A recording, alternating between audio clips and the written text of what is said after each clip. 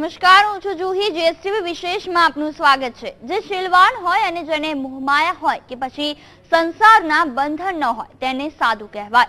પરંતુ આજકાલ તો સાધુ શબ્દ સાંભળતા જ કૌભાંડો અને કામલીલા નજર સામે આવી જાય છે. જેને લોકો પૂજ્ય માની પગે લાગે અને પૂજે તે જ સાધુ ભક્તોને પતનના માર્ગે લઈ જાય છે.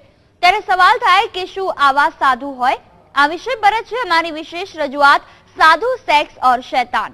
તો આ વિશે ચર્ચા કરવા આપણી સાથે છે જાણીતા મનોચિકિત્સક અને ગુજરાત સમાચારના કટાર લેખક ડોક્ટર મૃગેશ વૈષ્ણવ. મૃગેશભાઈ સ્વાગત છે આપનું જીએસટીવીમાં સૌથી પહેલા પૂછવા માંગીશ સાધુઓ દ્વારા જે પ્રવૃત્તિ કરવામાં આવે છે તે નોર્મલ એક્ટિવિટી કહી શકાય કે એબનોર્મલ એક્ટિવિટીઝ સાધુ દ્વારા જો સેક્સની પ્રવૃત્તિ કરવામાં આવતી હોય તો એને એબનોર્મલ એક્ટિવિટીઝ ગણવી જોઈએ. કારણ કે સંત અને સાધુ સ્પિરિચ્યુઅલ લીડર્સ કે રિલિજિયસ લીડર્સ એક વખત થઈ ગયા પછી જે સ્થાને બેઠા છે, એ સ્થાને બેસી અને જો સેક્સના કૌભાંડ ચલાવે તો એ ખોટી વાત છે. પણ આમાં હકીકત એ છે કે સંત હોય કે મહંત, તમારી બેન દીકરીઓને હંમેશા સાચવજો. આવું લોકોને અવારનવાર આપણે કહીએ છીએ. કારણ કે સેક્સ ઉપર આ સંતો કે મહંતો સામાજિક રીતે એક પ્રકારનો અંચલો ઓઢી રાખે છે. વર્જનાનું એના ઉપર એક બોર્ડ લગાડે છે અને પોતે એનાથી દૂર છે એવું કહે છે, પણ અંદર ખાને માત્ર એના જ વિચારો અને વાતો કેટલાક સંતો કરતા હોય છે. આના કારણે કેટલાક લોકો સેક્સ્યુઅલી ઓબ્સેસિવ તો કેટલાક લોકો જુદા જુદા પ્રકારના સેક્સ્યુઅલ ડેવિએશન્સ કે કેટલાક લોકો સેક્સ્યુઅલ એડિક્ટ્સ કે વ્યસની પણ બની જાય છે. આ પ્રકારના લોકો એમના અનુયાયીઓનો લાભ લઈ શકે છે કારણ કે અનુયાયીઓ એટલે કેવી વ્યક્તિ? પોતાના ગુરુ સાથે પ્લેટોનિક લવમાં પડેલી વ્યક્તિઓ એટલે આ અનુયાયીઓ. હકીકતમાં સમાજમાં દરેક લોકો ચિંતા, હતાશા, ભય કૌટુંબિક સમસ્યા, અભ્યાસની સમસ્યા, સામાજિક સમસ્યા, આર્થિક સમસ્યા વગેરેથી પીડાય છે. કોઈકને કોઈક આધાર, કોઈક ગુરુ જોઈએ છે અને આ પ્રકારના સાધુઓમાં જ્યારે લોકોને પોતાના રક્ષકના તારણહારના દર્શન થાય છે, ત્યારે આ સાધુનું સાધુત્વ સ્વીકારી લે છે. એના પ્લેટોનિક લવમાં પડી જાય છે, શ્રદ્ધા અંધશ્રદ્ધામાં ફેરવાઈ જાય છે. અને આ અંધશ્રદ્ધા જ તમામ પ્રકારના આ જે બદીઓ છે એના મૂળમાં રહેલી છે. જી, આ અંધશ્રદ્ધામાં કોને જવાબદાર ગણી શકાય? કારણ કે સાધુઓ જ્યારે આધ્યાત્મ તરફ વળે છે, ત્યારે તેઓ આજીવન બ્રહ્મચર્ય પાળવાનો નિયમ લે છે, તો પણ તે લોકો આ પ્રકારની પ્રવૃત્તિ કરે છે. તો તેમાં કોને જવાબદાર ગણી શકાય? સાધુઓને કે પછી તેમના દ્વારા જે ભક્તો પણ આમાં જોડાય છે આ પ્રવૃત્તિમાં? કોને જવાબદાર કહે છે? બંનેને જવાબદાર ગણી શકાય. સાધુને તો જવાબદાર ગણી જ શકાય. કારણ કે એક વાત, એક કન્સેપ્ટ આવેલો from sex to super consciousness પણ આ લોકો એ પ્રકારની સ્પિરિચ્યુઆલિટીમાં ધીરે ધીરે સ્પિરિચ્યુઅલના ટોચ પર લગભગ ક્યારે પહોંચી શકતા નથી. એમનું તમામ શાણપણ કે તમામ ઉપદેશ વિઝડમ અવેલેબલ ટુ અધર્સ પોતાનું શાણપણ જે બીજાઓ માટે લભ્ય છે, અને એટલે એ લોકો સ્પિરિચ્યુઅલ કે ફિલોસોફર ગુરુ બની જાય છે. એમને તો ચોક્કસ પ્રમાણે કરવા જ જોઈએ જવાબદાર. કારણ કે આ બધા લોકો મહાન બન્યા છે, કારણ લોકોએ એમને મહાન બનાવ્યા છે. બાકી આ બધા સામાન્ય માણસો જેવા તમામ નબળાઈઓ, બદીઓથી ભરેલા આ બધા સામાન્ય માનવીઓ છે, એથી વિશેષ કશું જ નથી. પણ પોતાને જે પદનો લાભ મળ્યો છે, એનો ગેરલાભ ઉઠાવવો એના માટે સાધુ જવાબદાર છે. અને સાવ સામાન્ય માણસને આટલા મોટા પદ પર બેસાડી દેવો. તારણહાર છે એમ માની લેવું. અને જે કહેશે, આજ મને ભવ ભવના જન્મો જન્મના બંધનમાંથી છોડાવશે, મને મોક્ષ અપાવશે મારી સમસ્યાનો ઉકેલ લાવશે, મને પરીક્ષામાં માર્ક અપાવશે. આ પ્રકારની જે અંધશ્રદ્ધા રાખવી એને માટે લોકોનો પણ એટલો જ વાંક ગણી શકાય. કારણ કે તમારી સાથે જે બને છે સારું કે ખરાબ સારું બને તો તમે કહો, સાધુ મહાત્માની કૃપાથી થયું. અને ખરાબ બને તો મારાથી થયું. એમ માનશો તો જીવન નહીં ચાલે. તમારાથી ખોટું બન્યું છે, એની પણ તમે જવાબદારી લેશો તો આવતીકાલે સારું બની શકશે. લોકોની આ વૃત્તિ નથી. પોતાનું રિમોટ કંટ્રોલ આવા કોઈ બાવા જતીને સોંપી દેવું છે. અને પછી બાવા જતી એનો ગેરલાભ સાધુઓ કે સંતો કે મહંતો એનો ગેરલાભ ઉઠાવે એ બહુ સ્વાભાવિક વસ્તુ છે. કારણ કે એ કદાચ આમાંના કેટલાક વધારે નબળાઈઓ અનુભવતા કેટલાક જુદી જુદી વિકૃતિઓ ધરાવતા વ્યક્તિઓ પણ હોય છે. એમાં કોઈ શંકાને સ્થાન નથી. જી, સાધુ આજે સેક્સ કાંડમાં ફસાય છે. તેના જે ધાર્મિક અને સામાજિક કારણો કયા કયા હોઈ શકે? કેવી અસર પડે? ચોક્કસપણે આ બધી વસ્તુની બહુ ખરાબ અસર પડે.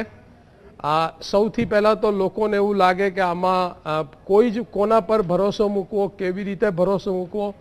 બીજી બાજુથી સાધુના ભક્તો દ્વારા એક પ્રકારનો પ્રચાર શરૂ થાય કે એમને બદનામ કરવા માટેની વાત થઈ છે.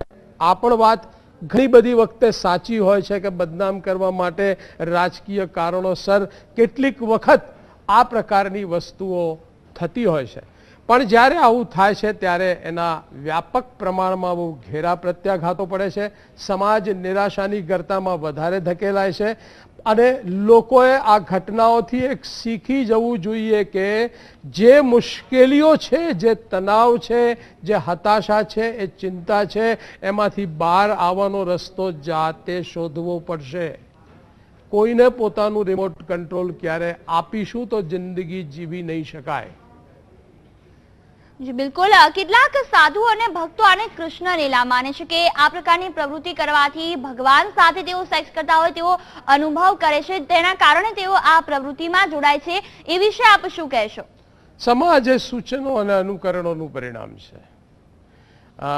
સેક્સમાંથી નો સેક્સ કે સેક્સલેસ થવાની વાત છે. ભાવ ભાવની જે બંધનો છે એમાંથી મુક્ત થવાની જે વાત છે, લોકો આમાં શું કરે છે? Priest politicians. લોકોમાં એક અપરાધ ભાવ ઊભો કરે છે કે જો આમ નહીં કરે તો આમ થશે. અને જો ખરાબ ન થવા દેવું હોય તો હું કહું તેમ કર.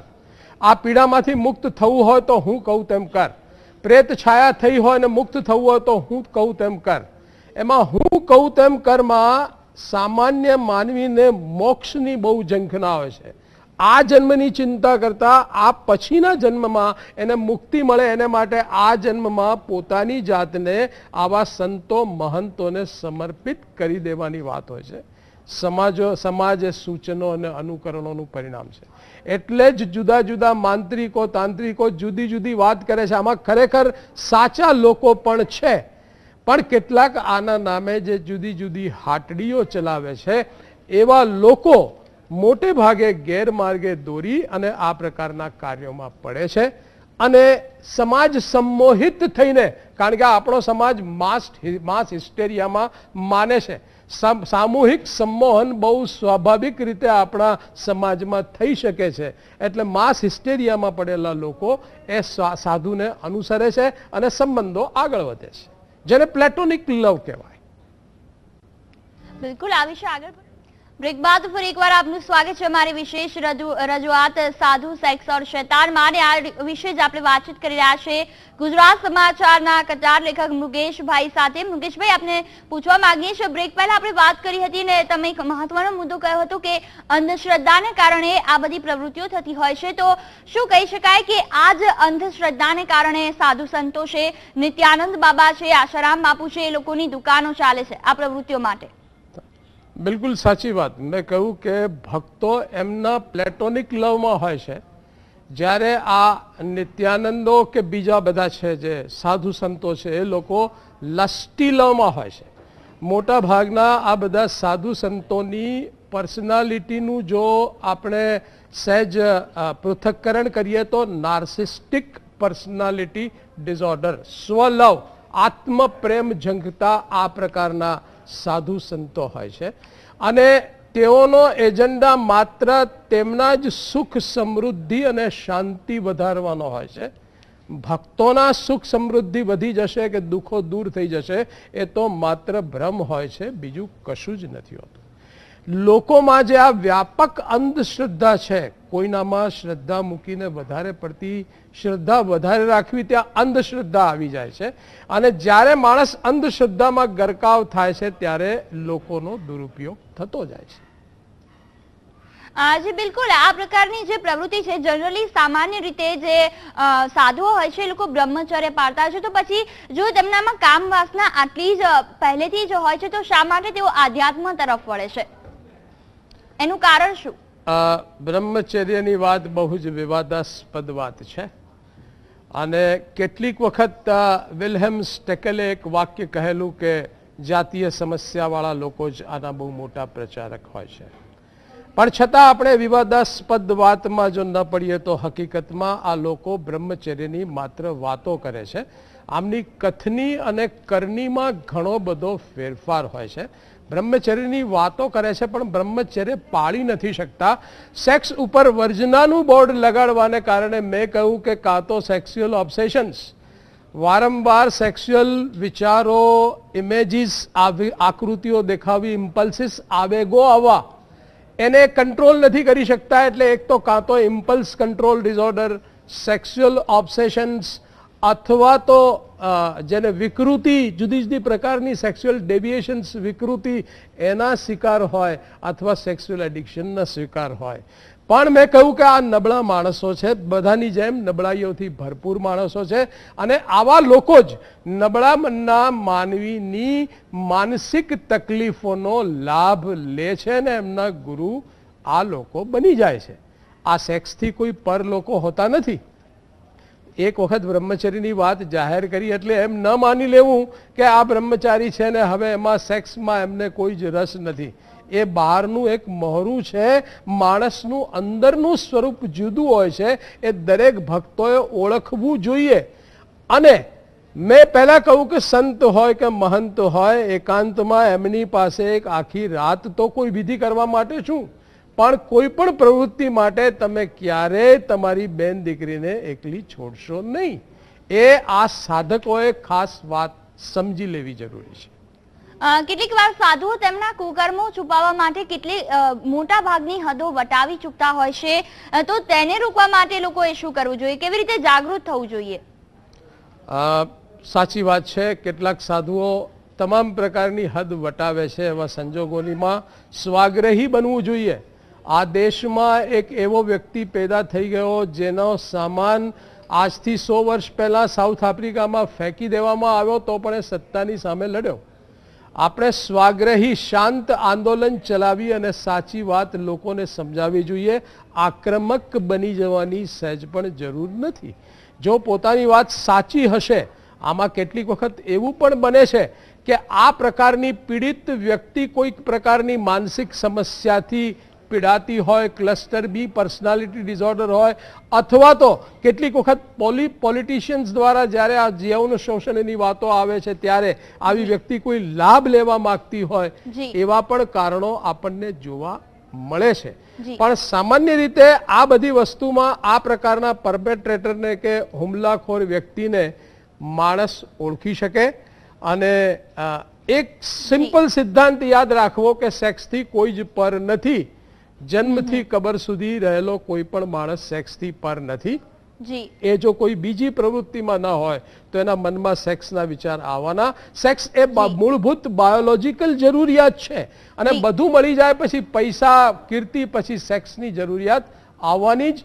કોઈ જ પેલા સેક્સના સરોવરમાંથી પહેલે પાર અ, મૃગેશભાઈ આપને પૂછવા માંગીશ આપ એક લેખક છો. આપની પાસે એવું કોઈ ઉદાહરણ છે ભક્ત અને સાધુનું કે આ પ્રકારની પ્રવૃત્તિ થઈ હોય? કે સાધુ પાસે ગયા હોય પોતાના લગ્નના પ્રોબ્લેમ સોલ્વ કરવા માટે કે દીકરીના પ્રેમ સંબંધો હોય એ પ્રેમ સંબંધોને સોલ્વ કરવા માટે અને ચાલીસ પચાસી વર્ષની ઉંમરના બેન સાધુ સાથે પ્રેમમાં પડી જાય. કારણ કે દરેક વ્યક્તિ મેં કહ્યું કે માનસિક રીતે ચિંતાથી, હતાશાઓથી, સમસ્યાઓથી પીડાય છે, જેનો ઉકેલ નથી. એટલે આવી વ્યક્તિને એમ લાગે છે કે આ રહ્યો આ તારણહાર જે મારી બધી જ સમ- સમસ્યાઓનો ઉકેલ આપશે અને મને આ ભવો ભવના બંધનમાંથી મોક્ષમાં લઈ જશે. બસ આ મોક્ષના નામે જ બધું તરકટ ચાલે છે. એટલે લોકોએ સમજી લેવું જોઈએ કે તણાવની સાથે જ આપણે જીવવાનું છે. કોઈ આપણને મુક્તિ નહીં આપી આપી શકે. અને આપણી વાત, આપણે આપણી જવાબદારી આપણે માત્ર જ આપણે જ લેવાની છે. બીજું કોઈ તે લઈ નહીં